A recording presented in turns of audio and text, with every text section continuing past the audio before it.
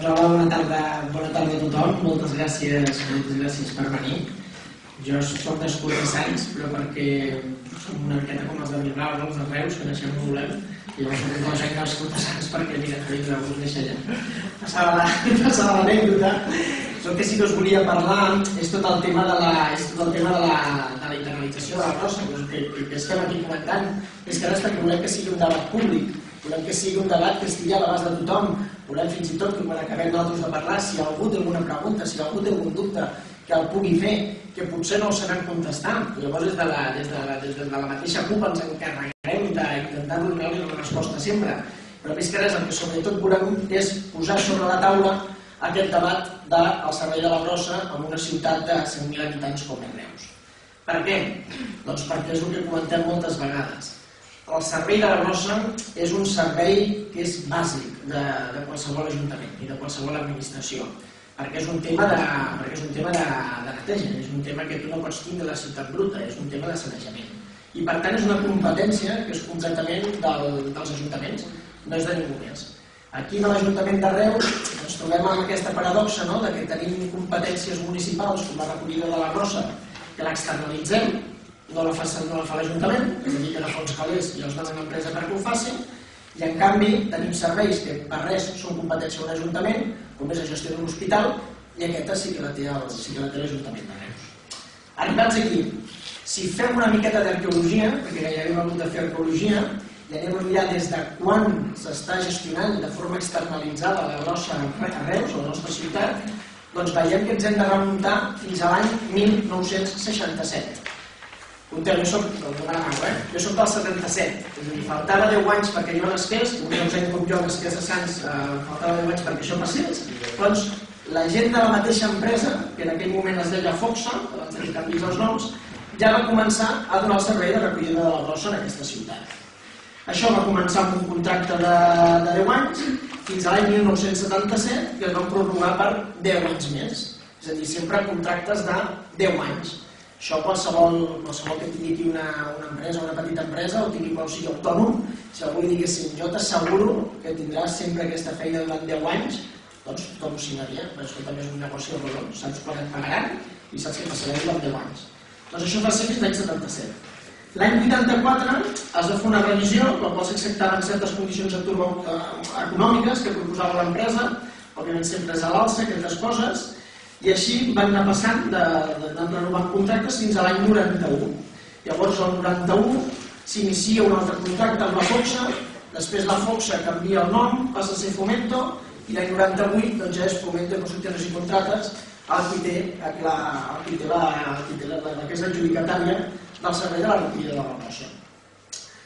Va passant el temps i llavors l'empresa doncs, fa una altra revisió, es torna a ampliar tres més, i al final doncs, acabem que l'any 2002, per fi, doncs s'inicia una nova contracta, s'inicia un nou concurs. Si aquí del 2002 ja estàvem tots, si tiréssim de maroteca, veuríeu que certa gent vinculada a Fomento de Constructores i Contrates fan exactament la mateixa pressió que intenten fer ara l'Ajuntament Reusenc perquè aquesta contrata continuï sent de Fomento de Constructores i Contrates. I és que és de tirar de maroteca. Canvien unes cares d'uns polítics però hi ha certes cares que ja són exactament les mateixes, emborratxant perquè aquesta contracta sigui per foment de constructores i contractes. I llavors, en aquell moment, havia la ciutat de Reus manava el tripartit, que era el PSC, Iniciativa per Catalunya Verge Esquerra, i després d'aquest procés de licitació polèmic, doncs el torna a guanyar foment de constructores i contractes torna a ser un contracte també molt llarg, que és el que sempre estem dient, són contractes que les guanyen, doncs escolta, doncs era l'any 2000, només estem parlant de l'any 2009, doncs això tornava a ser un contracte de 10 anys més, era el, el típic 8 més 2. Arribats a aquest punt, la CUP, quan ens presentem a les primeres eleccions, aquí municipals, sabeu que la CUP, per fer el programa electoral, sempre el fem de manera participativa, és a dir, sempre fem assemblees en què qualsevol persona de la ciutat pot vindre i participar i dintre, del nostre, dintre de, de, de, de, de les nostres qüestions bàsiques de la nostra ideologia, no? dependència, socialisme i països catalans i feminisme, per dir-ho forma, no ens escaparem mai d'aquí, doncs estem oberts a qualsevol proposta de la ciutadania. Ja va ser la primera vegada que ens vam presentar on ja en el programa electoral proposàvem que el servei de la brossa s'hauria de revisar i s'hauria d'internalitzar Però el millor és que quan arriben les següents eleccions, aquestes en les que ens vam presentar, ho tornem a posar en el programa electoral per la raó tan senzilla que sabíem que en aquesta legislatura caducava la contrata i que per tant s'hauria de tornar a negociar, s'hauria de tornar a revisar. Que nosaltres sempre hem dit el mateix, la competència és de l'Ajuntament. És a dir, sobre el paper no s'hauria de mirar quina contrata farà el servei de la brossa, sinó que s'hauria d'extingir la que hi ha i ho hauria de fer l'Ajuntament, que per alguna cosa és una competència seva. Però, si comencem a buscar tots els programes electorals dels altres partits polítics, només la CUP parla del servei de recollida de la brossa i de que s'hauria d'internalitzar. I això és un fet que vulguis que no sorprèn, perquè després la gent posa la seva butlleta a la, a la urna, amb un programa electoral, i resulta que hi ha coses que seran capdals en una legislatura i els partits no en parlen. La CUP té la mala costum, o no, en aquest cas la bona costum, de complir els seus programes electorals. I per tant, des d'aquest moment, des que comencem la legislatura, doncs la CUP es posa com a, es posa doncs, com un objectiu més dintre d'aquesta legislatura doncs, internalitzar el servei de la cosa, que per alguna cosa l'apuntàvem en, el, en el programa electoral. Arribats aquí, la primera vegada que nosaltres parlem amb el govern sorgit després de les eleccions, perquè al final també ho al final aquí doncs, si hi ha un govern és perquè hi ha una majoria de vots que dona el govern als partits de dretes en aquest cas.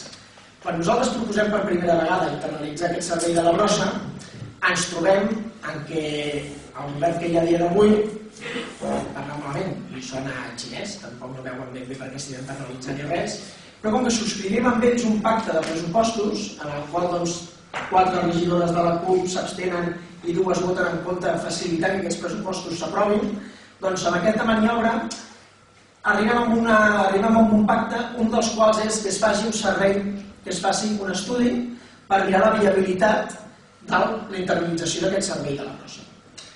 Aquest estudi el fa una empresa externa, que no té res a veure amb l'Ajuntament de Reus ni amb la CUP precisament, i a més a més amb els funcionaris del mateix Ajuntament. Aquest estudi, que és un estudi que és el més objectiu possible i al que nosaltres no hi hem intervingut per res, ja ens ve a dir que si s'internalitzés el servei de la brossa, com a mínim costaria 1,3 milions d'euros menys cada any aquest servei de recollida de la brossa. I això, ni que sigui un estudi objectiu que ho diu, és una cosa molt senzilla. Per què és tan senzilla? Doncs perquè les empreses, quan fan aquestes contrates, en aquest cas de construccions i contrates, no volen el servei de la rossa perquè li encanti rentar la ciutat de Reus. Ho fa perquè guanya diners. Si li diguéssim que guanyés zero diners, o que ell hagués de posar la seva butxaca quartos, aquest contracte no la voldria, foment de construccions i contrates. De moment que ells liciten i volen participar, és perquè saben que guanyen diners ens trobem una primera sorpresa, i és que en el contracte posa que el benefici serà el 2%. Benefici industrial 2% posen al contracte. Totes i tots sabem que si tu ara agafes els quartos, tens 100 euros, i els fiques en un compte corrent a la vista d'un banc, a l'igual ja te'ls donaran aquest 2%. A dia d'avui, el propietari de Fomento de Construccions i Contrates, el màxim accionista, és el senyor més ric del món, és el senyor Carlos Slim.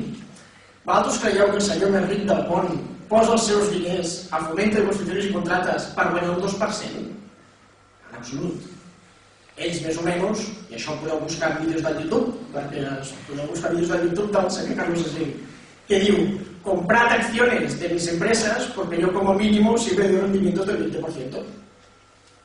Clar, si tu vols comprar accions a Carlos Slim, le compraràs perquè el dia de demà, cap un any, donaràs uns dividends de com a mínim el 20% i ell fa vídeos dient-ho sempre, les meves accions al 20%.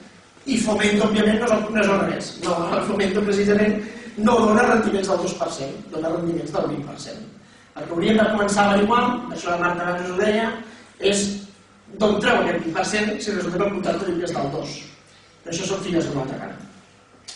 Arribats aquí, des de la CUP, perquè tampoc no, perquè tampoc no, tampoc no vull allargar molt, estem estudiant la viabilitat de del servei de la brossa. La internalització del servei de la brossa políticament a algú no li pot interessar o políticament a altres ens pot interessar, però viable ho és. Per això fem aquesta taula també, per demostrar que és viable. Tenim múltiples exemples de viabilitat, per exemple, el servei de recollida de la brossa de Cabrils, que passa d'una empresa a una empresa pública comarcal i per tant s'internalitza en un ent públic, de servei comarcal de l'Alcant, tenim per exemple l'exemple de l'exemple de si us sona, si no us l'explico jo, que és el cas de Figueres. A Figueres no s'internalitza el servei de la brossa, s'internalitzen altres serveis, però és tot d'empreses també que eren externes i que al final s'internalitzen sense cap problema per a les treballadores i els treballadors i per tant la viabilitat sempre és factible. I arribats a aquest punt, com que nosaltres també pensem que la ciutadania no se li ha consultat en cap moment quan han anat a votar, és a dir, tot ciutadà que ha anat a posar una butlleta en unes eleccions municipals, si ens creiem la democràcia, i aquest és l'altre, des de la CUP ens la creiem, no sabem si els altres partits se la creuen, però nosaltres sí que ens la creiem, com que sabem que quan van haver-hi les, les anteriors eleccions municipals els únics que portaven al programa electoral la proposta d'internalitzar el servei de la brossa eren altres, i els altres no deien res, doncs per això nosaltres vam proposar que es fes un referèndum. Que es fes un referèndum a la ciutat de Reus, en el que tota la ciutadania pogués votar si vol que el servei de la brossa s'internalitzi o que continuï externalitzat. I amb una campanya clara, amb una campanya diàfana, amb una campanya que hi hagi l'opció del sí de la internalització i l'opció de que continuï externalitzat, on li puguem explicar d'una manera democràtica a la ciutadania les avantatges i els inconvenients d'aquest servei i que al final sigui la ciutadania qui democràticament voti si vol o no. Quan nosaltres ens comencem a trobar certs rumrums de gent que diu home, un referèndum per això no el farem, penses, coi, doncs m'ho haguessis posat en el programa electoral si el teu programa electoral haguessis posat que tu volies el servei externalitzat sí o sí i que volies que el servei li costés a tota la ciutadania 1.600.000 euros més com a mínim anualment, ho haguessis posat en el programa electoral, però no ho vam fer.